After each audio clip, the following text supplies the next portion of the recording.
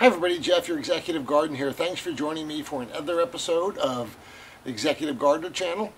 Uh, this is a second episode to a three-part series of comparing tomato plants and how they do with Miracle-Gro, um, uh, the uh, liquid food, versus a standard compost mix. So let me remind you, and I'll put the link in the bucket below here, and show you what the four tomato plants looked like uh, in the first part of the series, there was two that were treated with Miracle-Gro and two that were treated with a compost mix that consisted of rabbit pellets, organic compost, and also worm casting, so worm compost. So I'll show you the update and show you what the two that were treated with Miracle-Gro look like compared to the two that were treated with organic compost look like.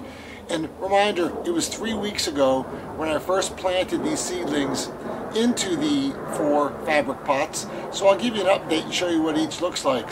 And our last part of the series will probably be in three weeks from now to show you what the tomatoes look like. Um, because none of the tomatoes have started yet, but there's certainly significant growth on each of the plants. So let me give you a close-up on the four plants and what they look like.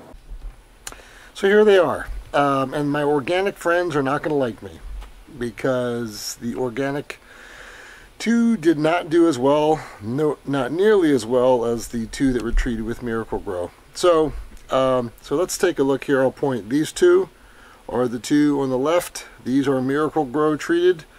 Um, and these are just treated with organic compost. I use a organic uh, seaweed type concoction uh, in them.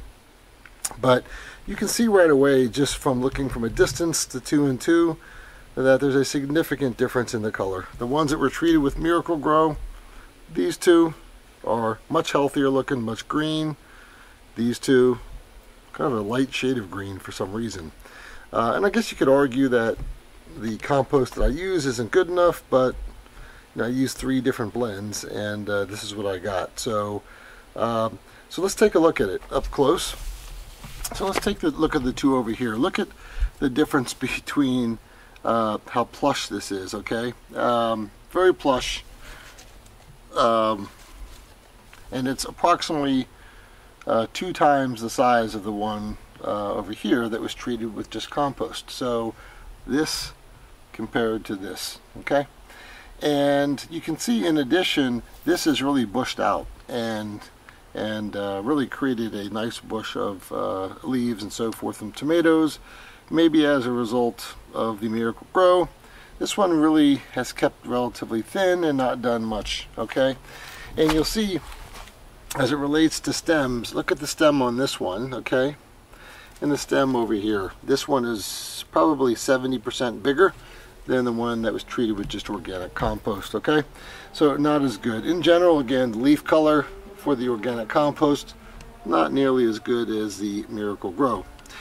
Uh, as it relates to flower buds, you'll see there are a good amount of flower buds here at the top. Nothing at the bottom, okay, just at the top. And on this one as well, you'll see the organic treated. Some flower buds at the top, no tomatoes yet. Again, this one, just like this one, very, not as robust, not as filled out uh, compared to these two, okay? So in general, uh, the Miracle-Gro plants, and also there's there's there are there is about the same amount of buds on the Miracle-Gro plants, flower buds. Uh, there's some there, some getting ready to go.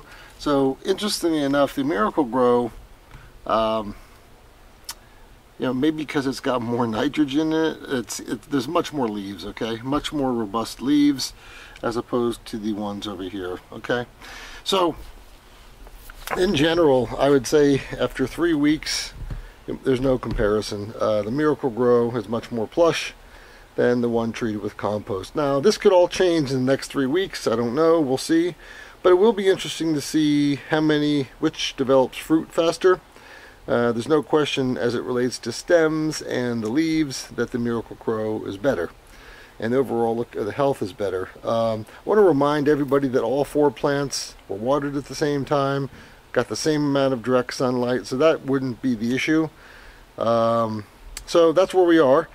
Uh, after two weeks, the miracle gro plants are twice as big, twice as thick, twice as much uh, foliage on it and about the similar amount of um, flower buds that will eventually turn into tomatoes. Uh, that's all I have for you. So we'll update you in three weeks and compare the two and two. Again, look at the link in the bucket. That'll show you the first episode of this series to see what these things look like uh, from the start. Thanks. Have a good one. Bye.